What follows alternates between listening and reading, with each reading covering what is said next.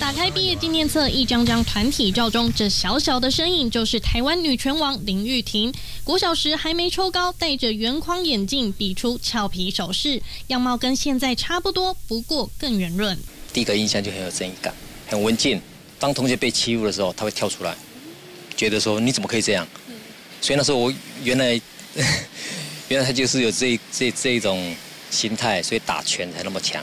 看着老照片，想起过去时光，脸上是欣慰的笑容。他是林玉婷国小的班导师江文明，也是带他走入体育的启蒙老师。他形容林玉婷国小练田径，速度快，跳得远，就像一道闪电。从小就展露体育天分，也一路看着他往拳击发展。打到我看，我看他练到脸都瘦成那个样子，我就很很心疼。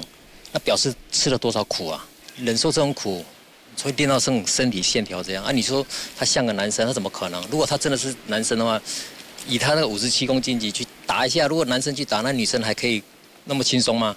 对于林玉婷深陷性别争议，恩师又气又心疼，说什么也要跳出来挺她。只要看到相关新闻，老师就会留言为林玉婷说话，替她加油打气。像这则就写林玉婷善良又懂事，谢谢大家支持她，还附上照片，能多拉一个粉丝是一个。林玉婷挺进金牌战，众所瞩目。对老师江文明来说，昔日身高只在他胸前的小女孩，如今长大了，成为体坛上的耀眼星星，心中满是骄傲。也有百分之百的信心，相信他一定会夺下金牌。可爱的玉婷，加油！礼拜天我一定守在电机电视机前面替你加油，加油！金牌！东森新闻陈玉祥、蔡永恩新北报道。